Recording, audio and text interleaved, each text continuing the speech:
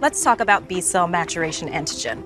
BCMA is a cell surface protein that is expressed on multiple myeloma cells. BCMA is essential for the proliferation and survival of multiple myeloma cells.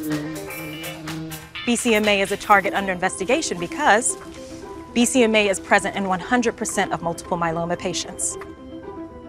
Just goes to show, some facts are more meaningful.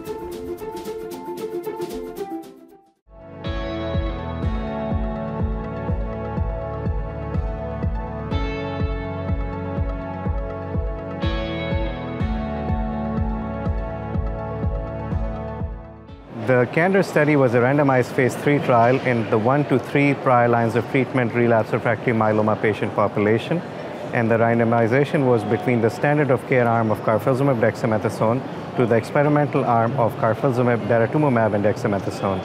And the randomization was a two to one schema, which means that for every patient that gets randomized to KD, two were randomized to Dara KD.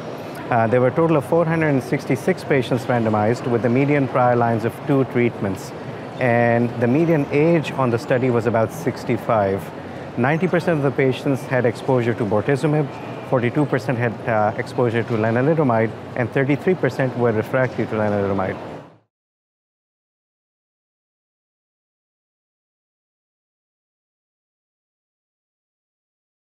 So the, after a median follow-up of 17 months, the study reached its primary endpoint, which was PFS benefit. The KD arm had a PFS of 15.8 months, whereas the DARA KD arm, uh, the median PFS was not reached. The hazard ratio was 0.63. The overall response rate was 84% versus 73%.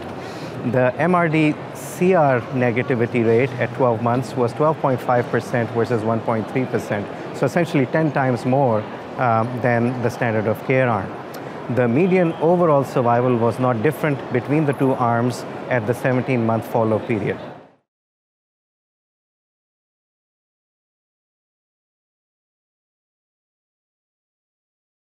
As expected, we did see a higher incidence of infections um, and overall AEs in the three drug combination compared to the two drug combination. Um, but what was interesting uh, was that there were lower incidence of cardiac failure or cardiac events in the three drug combination compared to the two drug combination.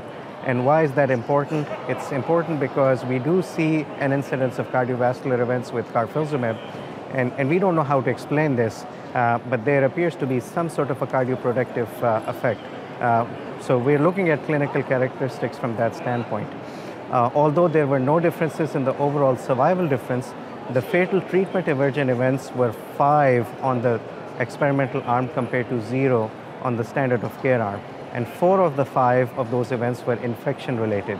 So we are also looking into that specific data and tease out if we can create an algorithm to identify patients at risk for infections and potentially even prophylax them if needed.